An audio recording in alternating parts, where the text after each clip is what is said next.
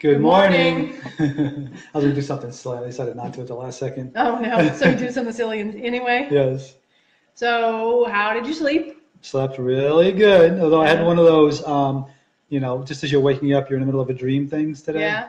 So that was a little. He Uh, had a dream that he needed to get something printed for some a client, and I had a dream that he bought a printer we didn't need, and I was annoyed about it. right. So how weird is that? I that? don't know that's really strange. Yeah. But uh, we did not go to the gym today. The reason being that when the guy who usually is, let, you know, the dictator about let's go to the gym, the dictator. Wow. yeah, snuggles up next to you and says, maybe we should go tomorrow. You say, okay. That's that tough convincing, right? yeah, so we'll go tomorrow instead. It's, you know, it's not a, a huge deal. Maybe it'll be a little warmer tomorrow, which would be nice. That would be very nice. So, um, what do you have for breakfast? I am having oatmeal. hmm I am having, I had all the, you know, the sunflower seeds, the um, pumpkin seeds, the hemp seed, the chia, chia seeds, the spirulina, the amla, put amla in today, hmm blueberries, banana, and I've already had a whole grapefruit, um, cashews, and persimmons. Is that what they are? Persimmons, yeah. Persimmons, like like um, sun-dried persimmons, about I don't know, four or five wedges, Slices. slices. Yeah. And I have a lunch meeting today. So as you know, my go-to lunch when I, uh, breakfast when I have early lunch meetings is an apple with some peanut butter, natural uh, peanut butter, organic. And I'm going to have some grapefruit as well. So that's what I'm going to have for lunch today since I have a lunch meeting Mhm. at 11:45, which we usually don't eat lunch till 2 or 3. So I'm going to go easy on the lunch and I may end up eating oatmeal for dinner. Dinner. Yeah, I was going to say that. Yeah. We'll see. So um, I wanted to share with you guys. I, you guys know I'm taking a class right now to get my certification in uh, plant-based nutrition. The class, the class that I'm taking currently is called Diseases of Affluence. Right. So I've been uh, been studying cancer and heart disease and diabetes. Let me read what Kristen's reading. Above freezing, yay! That's always preferable, right? Yes. Um, so I finished the section on uh, cancers and, and the section on um, heart disease. I just need to do the written part for the heart disease. And then I'm going to start the diabetes one next. Um, if you want to see, I had to write a one page summary of it for the um, cancer food, how food in, influences the growth of cancer in our bodies. And I did post that in, in total, everything I wrote on the R&R journey page. It's a tiny bit academically dense because it does reference um, the actual science, but I do think that it is worth reading if, if you're willing to take the time to read it. It's one page, which I know is a long Post, Facebook post, yeah. but it's a really short academic paper. Yeah. So I would highly encourage you to go and read that. It is not academically referenced. So if you want the actual studies that I do reference in there, um, feel free to ask me. I will definitely send you the, the study, the names of the studies and when they were done. I do reference the names of the authors so you can Google them and find out you know, who the doctors are that did the research and decide for yourself whether you want to um, believe what they found or not. But that is on the R&R Journey page. So if you're interested in, in more in depth than I give you here today, please go and, and read that. Um, I got I got an A 100% on it, so it's a uh, teacher approved. Yes. so Stamped. feel free to go uh, take a read of that. But the the one study, there's a couple of studies that were really interesting that I'll reference real quickly. One was done um, with rats and um, protein, milk protein, and they found that if you expose rats to a carcinogen, a cancer-causing agent, and then you feed them 20% protein, milk protein, the cancer grows. Right. If you feed them 5% protein, milk protein, the cancer doesn't grow. And you can turn it on and off by either feeding 20% or 5%. So I thought that was interesting. And I thought this was a really, really telling statistic. If you expose rats to a liver carcinogen, at high levels, they get high level tumors. At low levels, they get low level tumors. That would be expected. But you can expose rats at high levels of carcinogen and feed them a low protein diet and they get low levels of tumors. Or you can expose them to high, uh, low levels of carcinogen, so they should get low level tumors, but feed them high levels of protein and they get high levels of tumors. So it, the, the amount of protein they eat makes it cross, which I thought was just Right. crazy. And rats typically live about 100 weeks, that's their lifespan. And they found that in this study, rats that were on um, the high level protein at 100 weeks, 100% of them were dead. Mm. At 100 So- weeks, the ones that were Yes. on low level protein, all 100% were alive. Right. And for me, like that's not even like 85% or some. No. No, all. They were either all dead So- or all alive. It's either on or off. There is no uh, No middle no dim switch. Right. And Yeah. the one doctor said, and this to me was shocking. The one doctor said that if milk casein, which is the protein found in milk, was measured the way we measure most carcinogens, it would be the most highly carcinogenic substance we've discovered thus far. Right. That to me was shocking that he that that was the claim that he made. And again, like we've learned before, is that cow's milk is awesome for calves, for baby cows. That's what it's meant for. right. It's not awesome for humans. Right. So that was that was super interesting to me. Um, the difference in response. So let me see. I got to find. Oh, and they talked about angiogenesis, which is a really big, annoying word. And what it basically means is the growth of blood vessels. And in cancer cells, they send out a, um, a, a signal called VEGF, if you want the science, called VEGF, that says, hey, I need blood vessels. Now, your body usually uses growth of blood vessels when it's injured. If it needs to fix something, that's when it uses it. And then when it's better, it trims them back. And what cancer can do, the when it gets turned on, is it never turns the signal off. And so it just gets lots and lots of blood flow. And so they're finding that if you can stop the blood flow and block the VEGF that cancer cells send out, you can kill the cancer. And there are a lot of drugs approved for that. Um, but they're definitely finding that there are many foods, plants that inhibit the, the growth of VEGF. And so I thought that that was interesting. The more plants that we eat, the better off we are. And the interesting thing on top of that is that take pharmaceuticals have bad side effects. Eat plants have good side effects. Right, You know, exactly. so- hey, Sean, good to see you. Good morning, Sean. Pat. Good to Morning, see you. Pat. Um, I was going to say something and I forgot what it Oh, was. did I do that to you? No, it's not your fault. It's all good. Um, I'll, I'm sure I'll find it again. It's not a big deal. Oh, I know what it was. So there, the doctors that study this cancer and plants thing are really adamant that we are not slaves to our genes. Cancer is not something that you just get and you're stuck that you're stuck with it. You Right. have no control. Um, every one of us, and I didn't. I guess I kind of knew this at some level, but cancer cells, cells that become the disease that we call cancer, happen all the time in our Right. bodies. 99.9% of, our, of the time, your body is able to just kill it and say, oh, that's, that's broken, don't need that. And it's a non-issue. So we, we were talking this morning about how our bodies, our whole lives are doing all these amazing Yeah. things to just keep us alive. Right. And one of them is killing off those broken cells.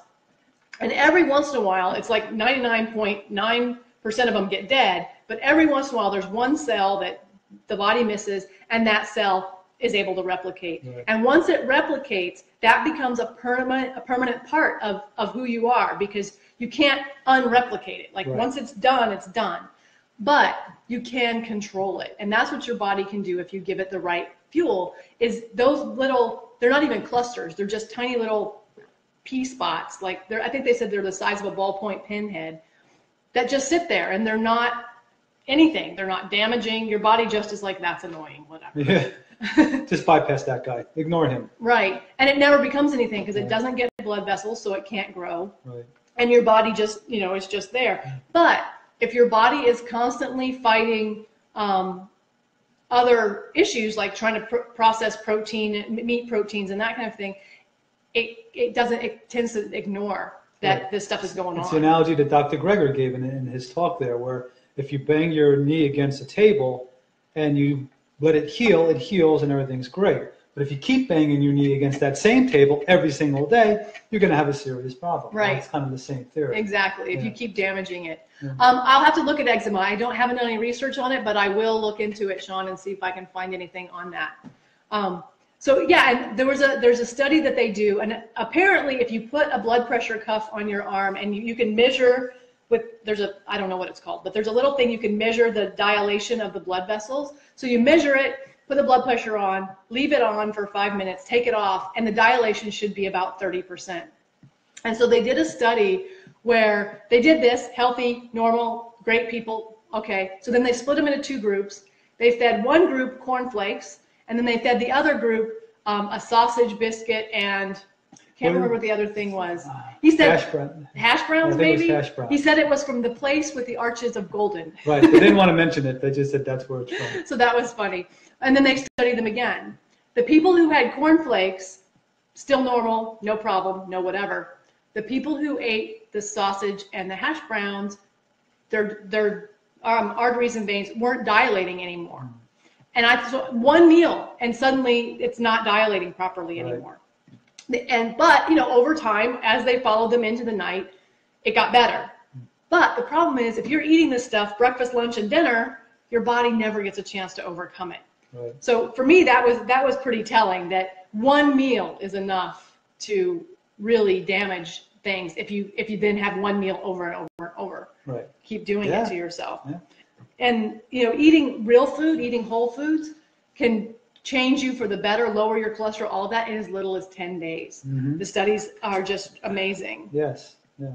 It's uh, and we've seen that time and time again where they stick about they changed their diet and this great thing happened. And by the way, it was ten days or two weeks or Right. you know three weeks. It's never like you know a year later or two years later. So it's just and I and I told you this this morning too that I always felt and when I was bodybuilding I learned some of the stuff I read back then is the body's a remarkable machine. hmm It is the most efficient machine that that man can even dream about creating such a machine, right? Right. and we will heal ourselves given the opportunity you know so if you're a smoker and you've not gotten any kind of disease from it and you stop smoking your lungs what was it it said that the lungs go um, and i don't forget the amount of time i don't want to exaggerate but whatever the period of time was that the lungs of a um, smoker was it 15 years It was a long time. it was like 15 years of non-smoking your lungs are the same as somebody who has never smoked but it takes time. It you have to give your time. time, your body a Right. break. it's when you pass that threshold of it's too late Right. that you know it doesn't matter if you stop at that point it's too late And um,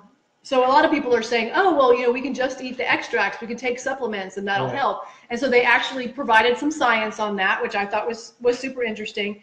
Um, they did some a study on the vitamin C like activity provided by half a cup of, of apple, and what they found was that 100 grams of apple, which is about half a cup, has 263 times the the as potent as the same amount of, as an isolated chemical. Mhm. So while we think it's the vitamin C that does it, it's actually the synergy between everything that's in the Yeah. apple. And um, this doctor made the point that there's 8,000 bioactive components in whole food that have synergistic effects on cancer prevention. And there's no way we can study 8,000 things and understand all their interactions. But fortunately, we don't have to understand it. We just have to eat real food. it you eat So it you get it don't worry about that's pretty straightforward. yeah So I won't get into heart disease today because that'll be that'll be long. I can talk about heart disease next week.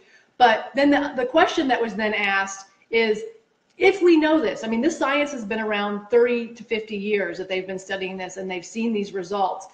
If this is known science and there's so much evidence for it, why aren't doctors uh, telling us? Why aren't they giving us the option to change our diets? And so there's a couple of different reasons. One is uh, we've said before, doctors don't know because they're not taught this. They get maybe 20 hours of nutrition, and this is not what they get. So they don't know. So we have to give them, a, you know, cut them a break on that. Doctors don't know. They can't tell you what they don't know. right But I, so my question was, so if doctors that are in the labs with these people doing this, they know it, why aren't they telling their people? And they, they did um, a study and kind of interviewed them and asked that question. And their response was, because people won't do it. So I just won't bother to tell them. And it is true. There are some people who won't do it. right but you should give them the opportunity But I think that we should give people the opportunity to make the decisions to take ownership of their health themselves. And that means, at least for me, that means give me the data, tell me what it says, and let me make the choice. And I guess that's what we're trying to do is just give you guys the information and then help you if you want to make this choice of going um, more toward plant-based of what that looks like Right. and being able to add more plants and reduce the amount of meat you're taking in. And I'm not saying you have to be 100%. We started out at about 80%. And you know, we're we're we're moving closer and closer to the 100% mark though. The more we learn, the more we're like, "Eh, And, and I don't, and I don't even think you have to be age percent. I'm, to me, and listen, maybe I'm wrong. This is the way I look at it. If you give somebody something and says, you know, just try a little something, and they start feeling better from it, isn't it natural for them to say, well, I mean, we do it with bad things.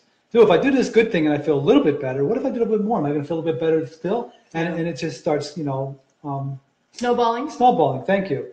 Uh, and I think that is the way, you know, most people should approach it. Maybe how a doctor should approach it is just sit there and say, Try this one thing. you know, I want you to Right. add a cup of, I don't know, you know, a, a baked potato a day, or you know, a, a cup of corn a day, or something. I don't know, anything.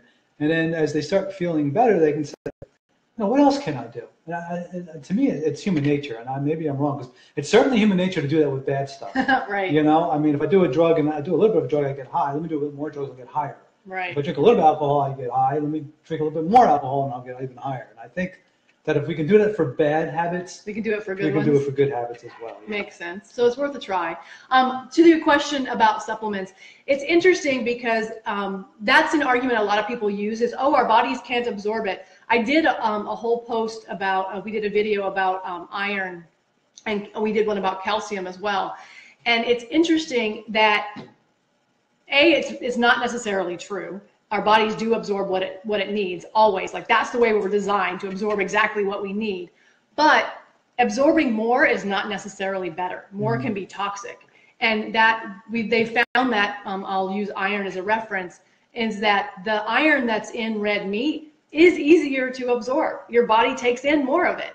But the problem with that is your body then cannot regulate how much iron it's getting because it, it's too easy to, for it to get in. Right. Whereas the iron that's in plant foods, um, green leafy vegetables, flax seeds, all of them, everything has iron in it basically. If it grows in the ground, it has iron in it. Um, a little more difficult for your body to, to access, but much better for you in that it is able to regulate it and use it m- more effectively. That's the science that I have found.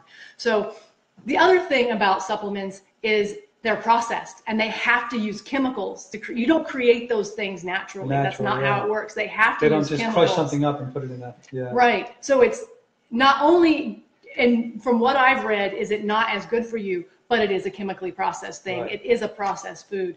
And, you know, we know we've been told our whole lives, I say this all the time, it's not news that plants are good for us. Eat your fruits and vegetables. It's not news. We've been told that our whole lives. But for some reason, we get our, we get in our brains that, you know, we have to eat this other junk and it's easy and whatever. And that's unfortunate. Right. So I would definitely say everything I've read from all the doctors that I've read, the science that I've read says as long as you're eating a wide variety of plants, which I eat more variety now than I ever did before we went plant based, there is no way you can be nutrient deficient. And it's interesting that we worry as a society about nutrient deficiency when in reality the disease is excess. Right. right. So we're worried about our society, but then we tend to eat foods that are uh, nutrient poor. Nutri- yeah, calorie dense, nutrient poor. Right. Yeah. Which is just bizarre, but that's what we do. So Welcome to the Western society. it, it's interesting. Again, I did. I had to write a one-page paper about um, cancer and food, and I posted it on the R&R Journey page. So if you want to actually see like who did the studies in a little more detail, go and read that. It's one page. Um, it's a little dense for Facebook, but it's actually a pretty easy read. I You think. should you should see her after she's taken a class and she's so excited. Let me tell you what I learned. And I'm like, okay, what'd you learn? I do. It's very cool. so um, I did the heart disease um, sessions yesterday. I spent all day learning about heart disease. I have to write the paper for that one, and if I if I get a good grade on it, I will uh, I'll post that. if she well. gets a good grade, folks. In other words, if she doesn't get a 99.99999, because then she'll be disappointed. It'll be fine. Right. And then this weekend I'll be learning about um, diabetes and food, so we'll share that as well. Absolutely. But um, that's what we have for you today. I hope that you find it useful. Um, I hope that if nothing else, it makes you think Yeah. about what you're what you're feeding your body and the opportunity you have to control your health. Because that's more and more what I'm learning. Good morning, David. We have the Morning, opportunity to control our destiny when it become when it comes to our health by deciding what we eat, and that's a decision you have 100% control over. So. exactly. I won't preach at you anymore, although I, I would love to because I the do. Bible is down. I do love talking about this stuff. Um, but yeah, and, and again, I'll just I'll just uh, add to that by just saying baby steps. You know, it's, it's a simple term. Take one step at a time. Try one meal. Try one day. Try one, you know, one week. Eat oatmeal. Eat oatmeal every morning. It's a great thing. I do it. Um, you know, or add oatmeal, or I don't know anything. But just try it one step at a time, and as you feel yourself feeling better, You'll want to do you'll more. want to do more. I mean, that's the bottom line. and you'll eventually you'll even find yourself doing intermittent fasting. I mean, I've been a body, I've been around gyms and bodybuilding and playing sports, you know, as an adult for the, almost 40 years. Actually, a little bit over 40 years because I'm 41. not just kidding. um, you know, and I got to tell you, I'm actually aggravated that I didn't have this knowledge back in the day. I know, You right? know, it's like, why was this being held from me? And I, when I was bodybuilding, I did a lot of research. I did a lot of reading. Yeah. Um, the guy I trained with, uh, with um, Rich Gaspari, he was a biology student um, at Rutgers, and he was, I mean, he was getting the actual detailed information. And it's just sad that it was wrong. that the information being taught, even though they had the right information, they chose to teach a different, a different Yeah. knowledge, as it Yeah. were. And so, you know, Yeah.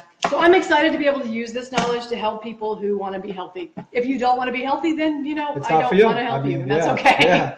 We're not into fighting a battle. That's not the point. No, not my gonna not gonna force anybody to do anything. But if you want the information, we're happy to share it. We're happy to help any way we can. So I think with that, we're gonna go eat breakfast because I have to get to my meeting later. Um, do you want to say bye? Yes. and with that, we will end it by saying, eat real food, not too much, mostly, plants. Have a Have great good day, weekend. We'll see you Monday.